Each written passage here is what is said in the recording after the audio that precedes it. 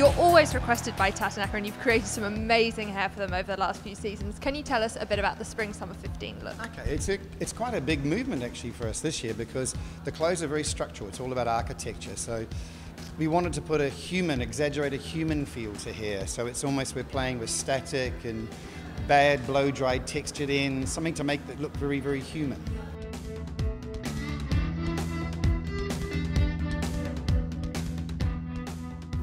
Can you tell us a little bit about the inspiration behind the Spring Summer 15 collection? Uh, the inspiration was modern architecture. Tata Naka is always about color and print, and it's kind of a mixture of prints and textures and an overload. And and this time we kind of held, uh, you know, toned it down quite a bit. Um, it was more about sort of the linear and the curves.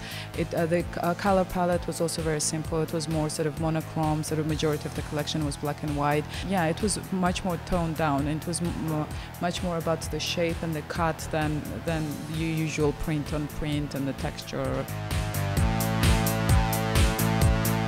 It's relatively simple. It's actually like we're drying it the way a client probably dries their own hair at home, which is they tend to drag it straight down, trying to make it straight, um, rather than where hairdressers lift it away from the head for that little bit of volume. So we've gone with that as the first part, using sea salt spray on the roots, which ages it a little bit as well. You get a texture and a little bit of moisture, which makes it collapse a bit.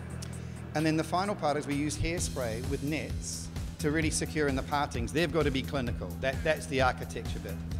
And then we just rough up the hairspray afterwards. We get these lovely, almost appearance of little broken pieces, which are the, the nice, uh, if you like, uh, human edge that we keep talking about.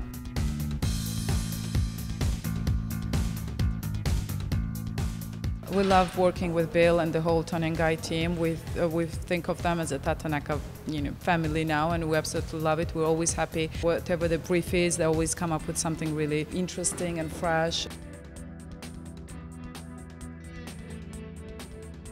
every time, every theme, uh, you know, he understands it really well, and you know, the whole team are wonderful. So yeah, we, we absolutely love it. And it's a pleasure working with them.